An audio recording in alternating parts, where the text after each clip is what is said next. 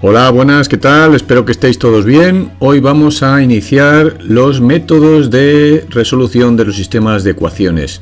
Nos vamos a ceñir fundamentalmente en este vídeo al método de sustitución. Ya sabes que hay tres métodos y si no te lo adelanto yo, hay tres métodos distintos para resolver un sistema, más el método gráfico que ya le hemos visto en un vídeo anterior.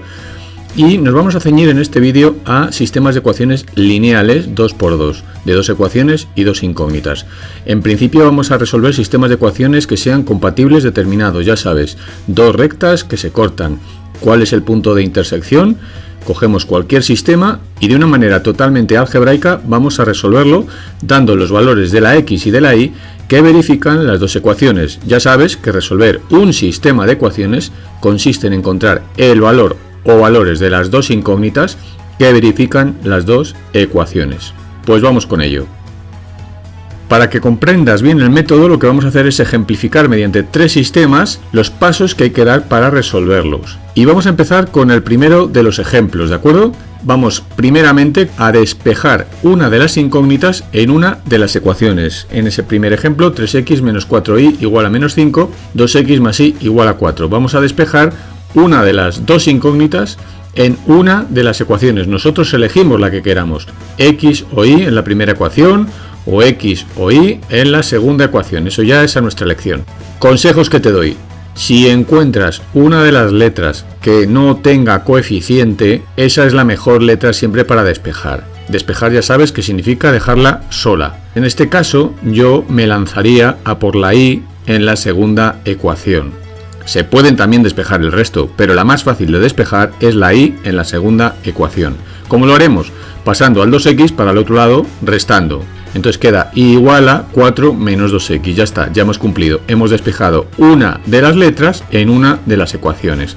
Ahora viene el paso que da nombre al método. Porque lo que vamos a hacer ahora es sustituir, de ahí que se llame método de sustitución, la incógnita despejada en la otra ecuación. Es decir, hemos utilizado la segunda ecuación para despejar la y y ahora lo que vamos a hacer es coger ese despeje, 4 menos 2x, y lo vamos a sustituir en la y pero de la otra ecuación. Ahí tenemos entonces el sistema y el despeje que hemos hecho y ahora vamos a sustituir en la primera ecuación, en la y, el despeje.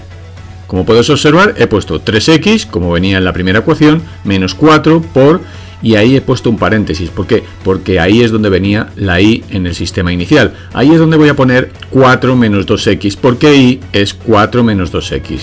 ¿Vale? Igual, lógicamente, a menos 5. ¿Qué hemos conseguido con esto? Lo que hemos conseguido es que tengas una ecuación que es 3x menos 4 paréntesis 4 menos 2x cierro igual a menos 5 que solo tiene una incógnita, es decir, es una ecuación que además es de primer grado y en la variable x. Eso lo sabemos resolver y es el tercer punto que vamos a desarrollar. Resolvemos la ecuación con una sola incógnita que ha resultado de la sustitución. La tenemos ahí arriba, ¿lo ves? Bueno, pues vamos a empezar deshaciendo los paréntesis, lógicamente. Vamos a empezar multiplicando al menos 4 por 4 y al menos 4 por el menos 2x.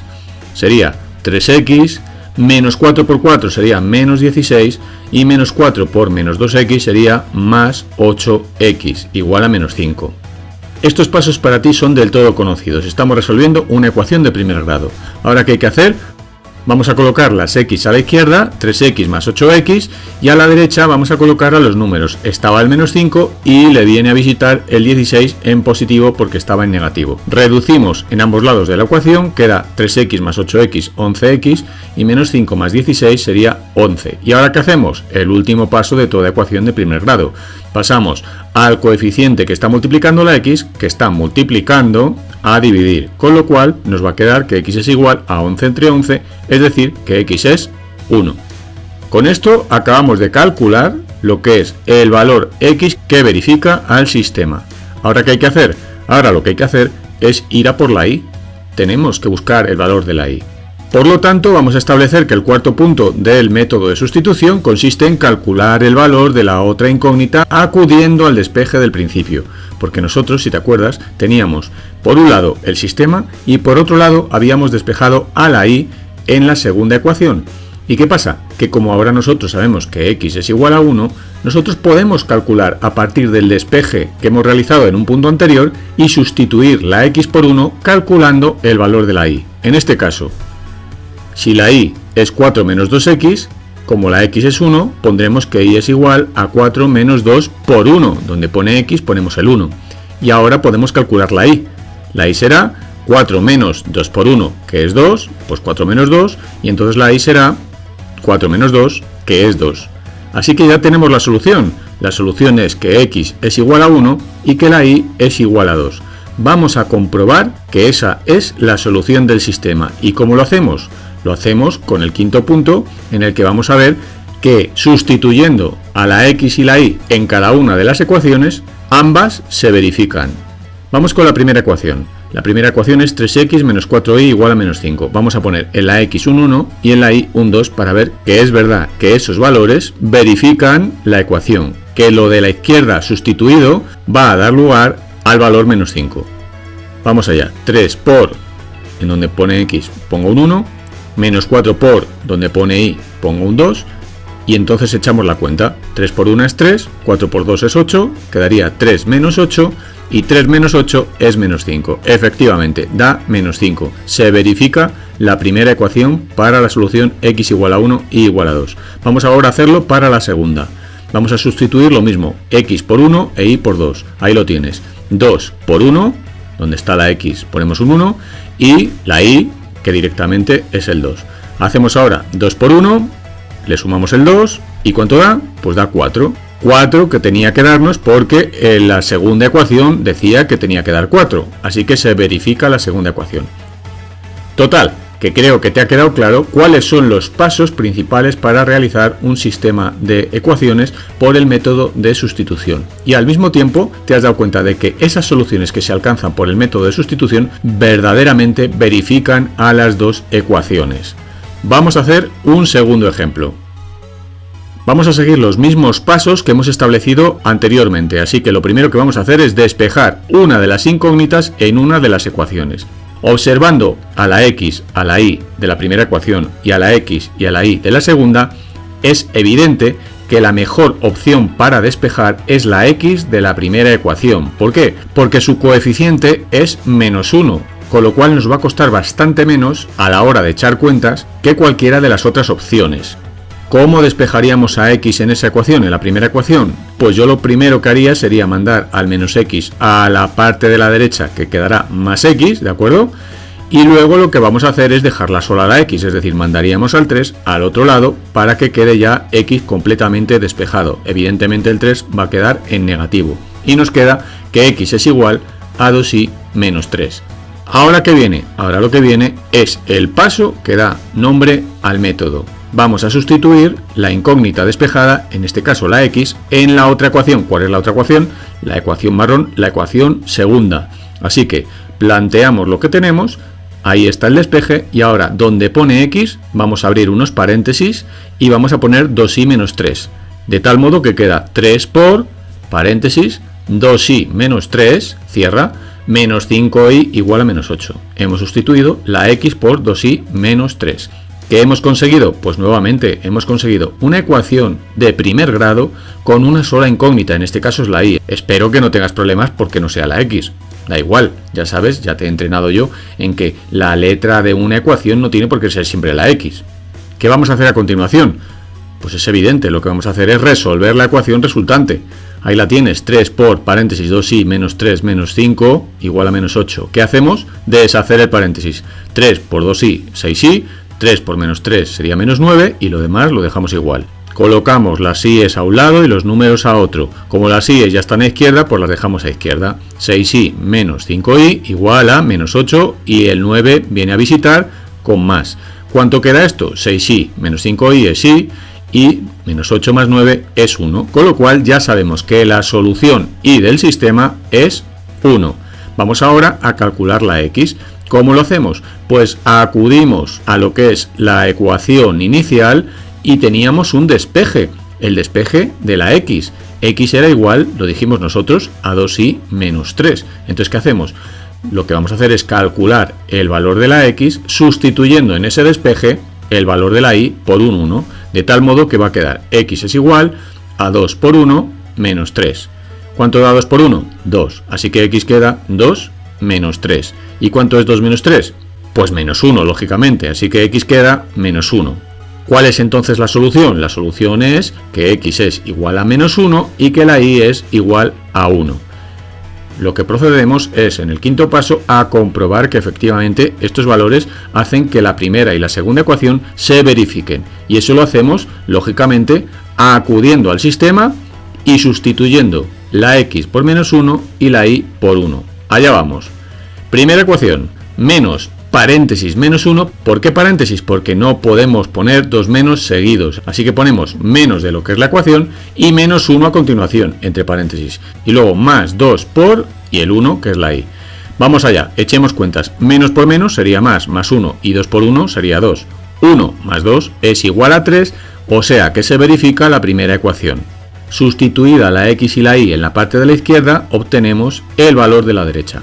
Vamos a hacerlo en la segunda ecuación. 3 por menos 1 entre paréntesis, porque el por y el menos no pueden ir seguidos, menos 5 por 1. Hacemos 3 por menos 1 que sería menos 3, menos 1 por 5 que sería menos 5 y menos 3 menos 5 sería menos 8, con lo cual queda verificada la segunda ecuación. ¿Qué pasaría, profe, si una de las ecuaciones sí se verifica, pero la otra no se verifica? Es decir, que en la primera sale 3 y en la segunda, en vez de salir menos 8, sale 7. Eso significa que tienes mal hecho el sistema, que en algún paso te has equivocado y que no has llegado a la solución verdadera. Con lo cual, comprobar un sistema siempre es muy recomendable para que veas que efectivamente la solución a la que has llegado es la real, es la verdadera vamos a poner un tercer ejemplo de este método. Vamos a ponernos en la peor situación posible. Fíjate, 9x más 5y igual a menos 3, 2x menos 3y igual a menos 13. Ninguna de las letras tiene coeficiente 1 o menos 1, que sería lo mejor. ¿Cuál es la incógnita que sería la mejor para despejar? En este caso mi recomendación es que despejes una cualquiera, da igual, no hay una predilección por ninguna, así que yo lo que voy a hacer es despejar la x en la primera. Entonces mando al 5i al otro lado, restando lógicamente, y ahora lo que tengo que hacer es quitarle ese 9 a la x que le está multiplicando, pues tiene que pasar dividiendo. Observa entonces que este despeje es mucho más feo, pero es correcto, ¿eh? es mucho más feo que los despejes que hemos hecho en el primer sistema y en el segundo sistema. Por eso siempre te recomendaré que si hay alguna letra del sistema que lleve coeficiente 1, es decir, que no lleve coeficiente, o que lo lleve menos 1, que sea menos x o menos y, que despejes esos antes que despejar cualquier otra. Bueno, en este caso no nos queda más remedio y ya está, despejado x es igual a menos 3 menos 5y partido de 9. Segundo paso, ¿cuál es? Ya lo sabes, yo creo que ya te lo has aprendido. El que da nombre al método. Sustituimos el despeje en la otra ecuación, en la ecuación marrón, en la segunda. Vamos allá. Justo después del 2 ponemos un punto de multiplicar y unos paréntesis y vamos a colocar lo que es la x, menos 3, menos 5y partido de 9. Ahí lo tienes. Cosa buena, que tenemos una ecuación con una sola incógnita. Cosa mala, que hay que resolverla. Y bueno, a ver, que nosotros sabemos resolver esto, pero digamos que es un poco más complicado que los sistemas anteriores. Vamos entonces a resolver esa ecuación. Venga, nos planteamos entonces resolver 2 por paréntesis menos 3 menos 5i partido de 9 menos 3i igual a menos 13. Allá vamos. ¿Qué es lo primero que tendríamos que hacer? Tú lo sabes, yo lo sé, es deshacernos del paréntesis. Para eso tendremos que multiplicar al 2 por el paréntesis. Como el 2 lleva un 1 debajo, tú ya sabes que multiplicar fracciones se multiplica en línea. Así que multiplicaremos el 2 por el menos 3 y por el menos 5i. Y al 1, al 1 que lleva el 2 debajo, lo multiplicaremos por el 9. Y allá vamos. 2 por menos 3 sería menos 6, 2 por menos 5i sería menos 10i, y partido de 1 por 9, que es 9. Todo lo demás se queda igual. Sigamos con la ecuación resultante y ahora ¿qué hacemos? Si tenemos un 9 de denominador y ya no tenemos paréntesis, lo que hay que hacer es poner denominador común. En este caso ni se te ocurra pasar al 9 a multiplicar al otro lado. ¿Por qué? Porque no puedes hacerlo. ¿Por qué? Porque no divide a todo lo del primer lado de la ecuación. Así que no puedes hacer eso que te acabo de decir, lo de pasar el 9 a multiplicar. Ese 9 se tiene que quedar ahí. La primera parte de la ecuación debería estar toda dividida entre 9 para que tú pudieras pasar ese 9 de dividir a multiplicar. Total, que vamos a poner denominador común, que sería 9, y ya sabes, todo lo que no tenga 9 en el denominador lo tendremos que modificar, tendremos que amplificar la fracción. Ahí la tenemos. La primera fracción la dejamos exactamente igual. La segunda es en la que tendremos que dividir 9, nuevo denominador, entre 1, antiguo denominador, que sería 9, y por 3i sería 27i. En el caso del menos 13, exactamente lo mismo. 9 entre 1 sería 9 y 9 por menos 13 sería menos 117. Quitamos los denominadores y ya nos queda una ecuación de las que nos gustan. Por cierto, si te has fijado, en esta ecuación todos son negativos, ¿lo ves? Bueno, pues vamos a hacer una cosita. Vamos a multiplicar a toda la ecuación por menos 1, ¿vale? Y si multiplicamos a toda la ecuación por menos 1, eso siempre se puede hacer porque la ecuación varía, pero la solución no varía, bueno, pues se nos queda positivo todo. 6 más 10i más 27i igual a 117. ¿Podríamos haber seguido con la ecuación anterior? Sí, también, no hay ningún problema. Pero la verdad es que a mí me gustan más las cosas en positivo. Vamos a mandar ahora sí el 6, que está ahí molestando al 10i y al 27i, y lo vamos a pasar con los números. Como es él un número, un término independiente, va a pasar restando. Así que se queda 10i más 27i igual a 117 menos, ha cambiado el signo, 6. Ahora lo que toca, ya sabes, es reducir a esa ecuación, sumar lo que son las síes con las síes y en el otro lado los números con los números. 10i más 27i sería 37i y 117 menos 6 sería 111. Último paso de una ecuación de primer grado que se precie. ¿Cuál? El 37 está molestando para que la i quede despejada y está multiplicando. ¿Qué vamos a hacer?